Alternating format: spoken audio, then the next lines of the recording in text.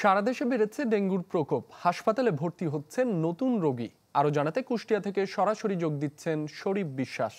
শরীফ, কুষ্টিয়াতে ডেঙ্গুর প্রকোপ কেমন? প্রশাসনের পক্ষ থেকে কি ধরনের উদ্যোগ নেওয়া হয়েছে?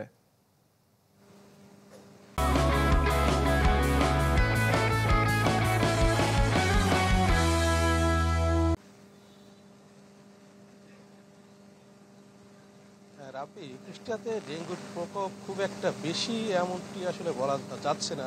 যদিও প্রশাসনের পক্ষ থেকে সর্বোচ্চ ব্যবস্থা কিন্তু তারা নিয়েছেন, বিশেষ করে ডেঙ্গু রোধে শিক্ষামূলক প্রোগ্রাম থেকে শুরু করে কুষ্টিয়া পৌরসভার পক্ষ থেকেও আমরা দেখেছি মাইকিং সহ বিভিন্ন জায়গায় কিন্তু সচেতনতামূলক যে প্রোগ্রাম সেটি কিন্তু তারা করে যাচ্ছেন। কুষ্টিয়া সিভিল সার্জন আকুল উদ্দিন যেটি আমাকে কিছুক্ষণ আগে জানিয়েছেন।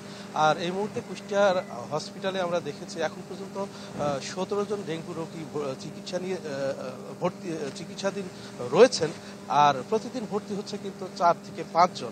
আর অন্যান্য উপজেলা হাসপাতালগুলোতেও আমরা যেটি খোঁজ নিয়ে দেখেছি, প্রতিদিন দুই থেকে তিনজন করে ভর্তি হচ্ছে এবং যারা ভর্তি রয়েছেন বা এখন পর্যন্ত যে- পরিস্থিতি সেটি রোগ- কিন্তু খুব একটা খারাপ অবস্থায় নেই, অর্থাৎ আশঙ্কাজনক অবস্থায় যদি বলা যায় সেটি কিন্তু নেই। সব দিয়ে কুষ্টিয়া ডেঙ্গু পরিস্থিতি বলা যায় অনেকটাই নিয়ন্ত্রণে এবং প্রশাসন থেকে শুরু করে স্বাস্থ্য বিভাগ থেকে শুরু করে সবাই কাজ করছেন।